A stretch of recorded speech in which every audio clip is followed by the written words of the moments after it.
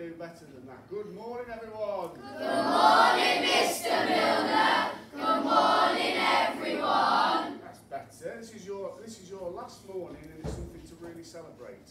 Okay, fantastic. Right. So this is all a little bit strange. Welcome everybody here. Obviously, welcome people at home that managed to join us via Google Meet. This is the first and hopefully the last Year Six interactive final assembly. So it's a little bit strange, a little bit different, but it is the best that we can do at the moment, and it's better than the Year 6 had last year. And I just want to say a few things about you guys first, and then I'm going to hand over to your teachers, and we've got some awards and the usual things that we do as part of these assemblies. Uh, this is a really special assembly, uh, a really special assembly because it's bringing together everything about you and your journey St Giles, some of you, and I'll ask you in a minute, some of you will have been at this school since foundation, since you were four years old. Some of you will have gone to St Giles Nursery School as well, and I'll ask you about that in a second. But this is a special assembly, it's a time to reflect on everything that you've done, and reflect on how much you have grown up, and to look forward to the next step and to secondary school. That's what it's all about. My favourite assembly. Every week I say the start of the week assembly is my favourite assembly, and it is. But this tops them all because this is super special. It's a brilliant chance to talk about all of you. I'm thinking about all of you. Um, I'm going to share an example I shared with the Year 5s yesterday. So apologies to the four children from Year 6 that were there and the staff that were there as well. But there's one word that I think about, well there's a few words actually, but hard working. Hard working and dedicated, we can use to describe this group of children, but also teamwork.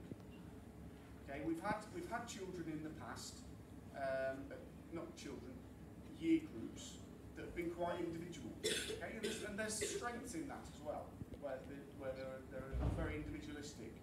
But you are a brilliant team. You've been great as classes. You've been great as a year group. And I'm going to share the example I gave yesterday. There was an incident last week where didn't go brilliantly for a group of, a small group of children at lunchtime. There was nothing major, but something happened at lunchtime. It wasn't great. And the way that you all sorted it out with the help of Mrs. Smarlick, I was really, really impressed. You talked it through in a really grown-up way. Everybody was listening while the other people were talking. And you ended up coming up with sense, some sensible, really realistic consequences. And then we moved on. And I, I, just wanted to share that with you, and I was so impressed with how grown up. Everybody makes mistakes. It used to be one of the mottos that, you know, that St Giles is a safe place to make mistakes. And it is. So we all make mistakes, but it's what happens after we've done that. And I was really, really impressed with that. So I just wanted to share that with you. Now, when I first arrived at St Giles, you guys were all in year one. Okay, so if you remember, you were in the classrooms right down at the other end of the school, those of you that were here. Some of you were in Miss Foreman's class, some of you were in Miss Means' class. And I can remember going into those classes, and if I say, I don't think most of you would be sat here listening today, uh, looking back then, it was quite, you were quite lively, you were quite lively, it was quite noisy, uh, and I think actually, we can taking that forward, you've retained, obviously, can sit still and you can listen. But you're quite noisy learners. But there's always learning going on. When I go into your classrooms, there's a buzz. So noisy learning, but always learning and always wanting to learn. And I think that's something you need to take forward with you as well next year. Take that with you. Take that, not necessarily the noisy learning, but that desire to find out more, that desire to, to learn more and to improve and to get better because you have done that this year so much this year, like no other year really, you've missed um, a large part of your year five, you've missed a chunk of year six, and yet you have all achieved this year. If we had had proper SATs this year, and we did do SATs, we called them secondary ready tests, but they were the SATs tests from 2019. You did them under test conditions, and you have performed better than any other cohort we've had through here. Now that is a testament to you, and that's a testament to the people sat around this room as well. From September, you have come back with an amazing attitude. Okay? There were gaps from the work that you had missed. Not your fault, not the teacher's fault. It's just the way things were with, with COVID and having to having to stay at home. So you had it. You the odds were stacked against you, and you have all done so well this year. You've done so well, and I don't think you should be frightened of anything in the future because of everything that you've coped with this year and last year. Everything else will be an absolute breeze. Be, there, there are quite a few of you actually from large families that are leaving, I, and I am going to miss some people and I do apologise about that. But I was just thinking about that. We've got uh, the last of the Peas children leaving. We've got Takoda. Uh, and we've also got um, Pixie. And I know I've missed some people out, and I know I do apologise for that because I know that there are some of you are the youngest in your families. I know there's more of you that are the youngest of your families. But I just think it's it's fantastic that we've had these families coming through the school because that's what I always say to you, isn't it? That St Giles is a big family. We are a big family, one big family. Families look after one another, and you guys certainly have looked after one another.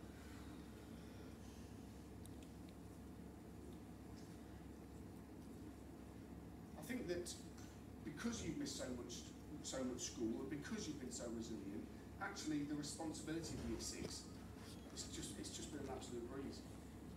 I don't think, I don't think um, it was an issue for you guys stepping up into year six and being year six children and being role models. Like I've said, there have been times when there have been times when we made mistakes. We all make mistakes, but it's what you do after that which is really, really important. And I look now at the children in front of me the children that I saw in year one, which is a large amount of them. Probably had a few here in year one. Fantastic. Yeah. And how many of you you had a few here in foundation as well? is how much you have grown up and how much you've matured.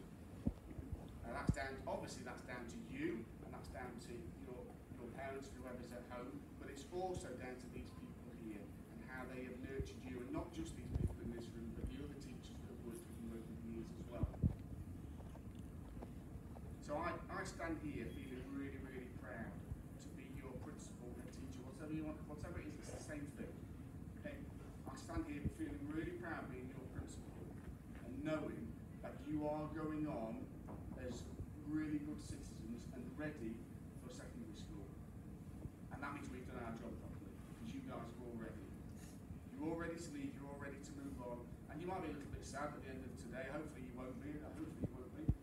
You might be a little bit sad, but come September and after you've had time to, to have some holidays, you are ready, you will fly and that makes me feel really, really good, knowing that we a small part. So, so I'm gonna, I'm gonna say some more, a little bit more at the end, but you deserve fantastic holiday because of how hard you've worked. One example, the last example I'm going to give is during lockdown. Now, during lockdown, up at Stage 2, the uh, engagement in terms of the number of children that were taking part in it was brilliant. Yeah, it was in year 5 and in year 6, but year 6 was phenomenal. Yeah? You were either in school or the vast majority, the vast majority of the time, were doing their remote, you were doing your remote learning. And it wasn't easy, was it? And I think that's a really good example of your desire to get better and to improve, is the fact that there was a massive barrier in terms of you weren't allowed in school and yet you carried on learning, you carried on wanting to find out. So a massive, massive well done from me. And I know that other people have got lots of things that they want to say as well. So we're going to move on to Mrs. Thomas and Mr. Flynn.